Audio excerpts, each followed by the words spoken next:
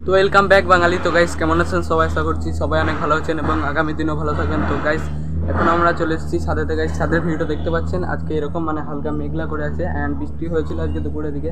তো গাইস এখন তো মানে আমি দিনে ভ্লগিং শ্যুট করতে পারছি না। কেননা গাইস মানে আমি আপনাদেরকে বলেছিলাম যে আমি রোজই স্কুল চলে যাচ্ছি, সে কারণে আর ভ্লগটা শ্যুট করা হচ্ছে না। অ্যান্ড গাইস ভ্লগে অতটা রেসপন্সও পাচ্ছে না। কেননা গাইস ভ্লগটা আপলোড করার পর মানে কুড়ি এবং তিরিশটার মতনই ভিউস আসছে। কেননা গাইস মানে ভ্লগটা মানে কি কমি আছে আমি বুঝতে পারছি না গাইজ যদি কোনো কমি থেকে থাকে, তাহলে আপনারা আমাকে বলবেন কমেন্টে অবশ্যই।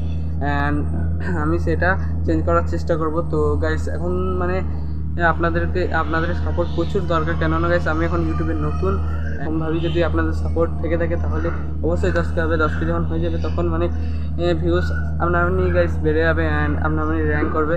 তো গাইস এখন মানে অনেকটা ডিমোটিভেট হয়ে যাচ্ছি ভিউস না আসার কারণে অ্যান্ড মনে হচ্ছে যে ভিডিও করা ছেড়ে দেবো। কিন্তু গাইস আবার মনে হচ্ছে যে এতদিন কষ্ট করলাম, এভাবেই বেকার চলে যাবে। তো সে কারণে আবার ভিডিও বানাচ্ছি গাইস তো গাইস অবশ্যই শেয়ার করবেন। তো আজকের মতো এখানেই ব্লগটাকে এন্ড করছি। দেখা হচ্ছে পরের কোনো ব্লগে তো বাই